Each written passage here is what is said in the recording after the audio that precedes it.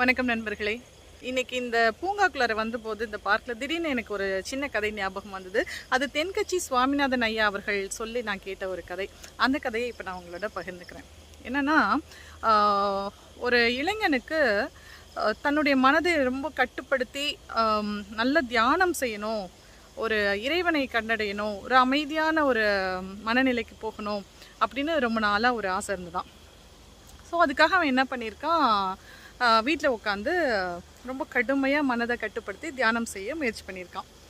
ஆனால் பார்த்தீங்கன்னா அவனால் அவனுடைய மனதை வந்து அந்த மாதிரி கட்டுப்படுத்தி அவனால் தியானம் செய்ய முடியல. அப்போ என்ன பண்ணியிருக்கான்? சரி ஓகே நம்ம இந்த இடத்துல நமக்கு சரியில்லை போல இருக்குது நம்ம ஊருக்கு கொஞ்சம் ஒதுக்குப்புறமாக போய் அமைதியான ஒரு சூழலில் உட்காந்து தியானம் செய்யலாமே அப்படின்னு நினச்சிட்டு ஊருக்கு வெளியே பார்த்தீங்கன்னா ஒரு சின்ன ஒரு நிறைய மரங்கள்லாம் அடர்த்தி அந்த ஒரு தோட்டம் மாதிரி ஒரு தோப்பு மாதிரி அந்த மாதிரி ஒரு ஒதுக்குப்புறமான இடத்துல போய் உட்காந்து தியானம் செய்ய ஆரம்பிச்சிருக்கான். அப்போது எவ்வளோ கண்ட்ரோல் பண்ண மனதை கண்ட்ரோல் பண்ண ட்ரை பண்ணியிருக்கான். அப்படி பண்ண முயற்சிக்க ஆரம்பிக்கும் பொழுது பார்த்திங்கன்னா அந்த வழியாக ஒரு பெண் ரொம்ப அழகான ஒரு பெண் நிறைய தலை நிறைய பூவெல்லாம் வச்சுக்கிட்டு சலங்கையெல்லாம் போட்டுக்கிட்டு அந்த வழியாக அதை கடந்து போயிருக்கான். அதை பார்த்த உடனே அவன் ரொம்ப டிஸ்டர்ப் ஆயிட்டான். அவனால் வந்து ஃபோக்கஸ் பண்ண முடியல. கான்சென்ட்ரேட் பண்ண முடியல. அவனுடைய தியானத்தில். அப்போ அவன் வந்து ஐயோ என்னடா அது இந்த அவனுக்கு இப்படி வீணா போச்சே அப்படின்னு ரொம்ப ஃபீல் பண்ணியிருக்கான். சரி பரவாயில்ல அவளோட அழகில் மயங்கிட்டோம். இன்னைக்கு நம்மளால் பண்ண முடியல. நாளைக்கு பண்ணிக்கலாம் தியானம் அப்படின்னு சொல்லி வீட்டுக்கு கிளம்பி போயிட்டான். அடுத்த நாள் வந்து அதே நேரத்தில் அங்கே உட்காரும் பொழுது திரும்பவும் அன்னைக்கும் அந்த பெண் வந்து அந்த வழியாக வந்திருக்கா. சுத்தம். இன்றைக்கும் அவனால் தியானம் பண்ண முடியல. அந்த பெண்ணையே பார்த்து மயங்கிட்டு இருந்துட்டான். அவனுக்கு ரொம்ப கில்ட்டி கான்ஷியஸ் ஆயிடுச்சு. என்னடா அது ஒரு தியானம் பண்ண முடியலையே நமக்கு என்ன இதுக்கு என்ன காரணம் அப்படின்னு யோசிச்சுட்டு என்ன பண்ணியிருக்கான்? சரி அவளோட அழகில் நம்ம மயங்கினதுனால தானே நம்மளால் தியானம் பண்ண முடியல. அவளை நம்ம பார்க்க வேண்டாம் அப்படின்னு முடிவு பண்ணவன் என்ன பண்ணிட்டான்?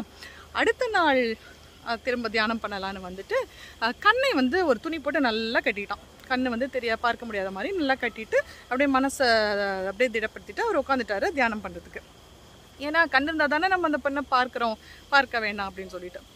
பார்த்தா கரெக்டாக அந்த நேரத்துக்கு அந்த பெண்ணு வந்திருக்கா நடந்து வந்திருக்கா. இவன் அஃப்கோர்ஸ் அந்த பொண்ணை பார்க்கல. ஆனால் அந்த பொண்ணு காலில் இருந்த சலங்கையிலேருந்து ஜல் ஜல் ஜல்ங்கிற சத்தம் வந்திருக்கு. அந்த சத்தம் வந்து அவன் கேட்ட உடனே அவர் டிஸ்டர்ப் ஆகிட்டார் உடனே கற்பனை வந்து அந்த பெண்ணை நேற்று பார்த்து அவளுடைய அழகு அவள் எப்படி இருந்தா அந்த மாதிரி கற்பனை போன உடனே என்னடா அது கண்ணு கட்டின உடனே நம்ம வந்து நல்லா சிறப்பாக தியானம் பண்ணுவோம்னு நினச்சோமே இப்படி ஆயிடுச்சே அப்படின்னு சொல்லிட்டு ஃபீல் பண்ணிவிட்டு என்ன பண்ணால் ஓகே இவன் வந்து ச இவளோட சலங்கை சத்தம் தானே என்னை டிஸ்டர்ப் பண்ணுது. அப்போ என்னோட காதுகளையும் நான் அடைச்சிட்டேன்னா என்னால் தியானம் பண்ண முடியும் அப்படின்னு.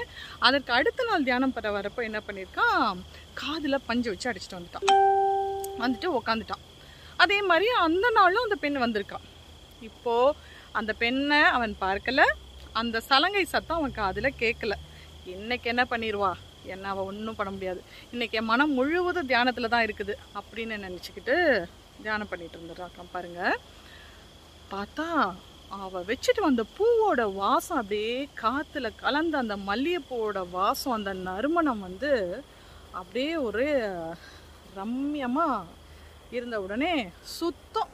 அவனோட சிந்தனை சுத்தமாக செதறி போச்சு அந்த வாசத்தில் அவன் திரும்ப அந்த பெண்ணை நினைக்க ஆரம்பிச்சிட்டான். அவளுடைய அழகு அவளுடைய முகம் அவளுடைய நடை உடை எல்லாம் அவன் ஞாபகத்துக்கு வந்துருச்சு. என்னடா அது? கண்ணை கட்டி பார்த்தோம் காதில் பஞ்ச வச்சு அடைச்சி பார்த்தோம். கடைசிக்கு இப்போ இந்த வா பூ வாசத்தில் நம்ம டிஸ்டர்ப் ஆகிட்டோமே அப்படின்னு நினச்சிட்டு என்ன பண்ணால் அதற்கு அடுத்த நாள் என்ன பண்ணால் ஒரு துணியை கொண்டு வந்து மூக்கையும் அடிச்சிட்டான். இப்போ பாருங்க கண்ணு காது மூக்கு எந்த உணர்வும் இல்லை. பார்க்கலை கேட்கல நுகரலை. நிச்சயமா இன்னைக்கு க- ரொம்ப சிறப்பாக என்னால் தியானம் பண்ண முடியும் அப்படின்னு ரொம்ப நம்பிக்கையோட வந்து உட்காந்தான் ஆனால் சரியா தினமும் அந்த பொண்ணு எந்த நேரத்துக்கு அவள் கடந்து போவாளோ அந்த நேரம் வந்தபோது அவனுக்கு அவன் மனம் வந்து ஒரு பெருமூச்சு வந்தது அவன்கிட்ட இருந்து. ஆ இந்நேரம் இப்படி கடந்து போயிருப்பா நம்ம தான் பார்க்க முடியல அப்படின்னு தோணுச்சான். அன்னைக்கும் அவன் தியானம் பண்ணலை.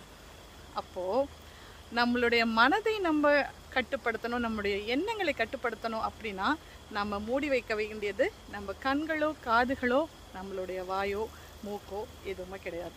நம் தியானத்திற்கும் அமைதிக்கும் தேவை. நம்ம எண்ணங்களை கட்டுப்படுத்துகிற வைராக்கியம் நம்மக்கிட்ட இருக்கிறது தான். அதை விட்டுட்டு நம்ம அவயங்களை பூட்டி வைக்கிறதுனால நம்மளால் எதையுமே சாதிக்க முடியாது. இந்த கதை நிச்சயம் உங்களுக்கு பிடிச்சிருக்குன்னு நம்புகிறேன் இன்னொரு கதையோட உங்களை சந்திக்கிறேன்.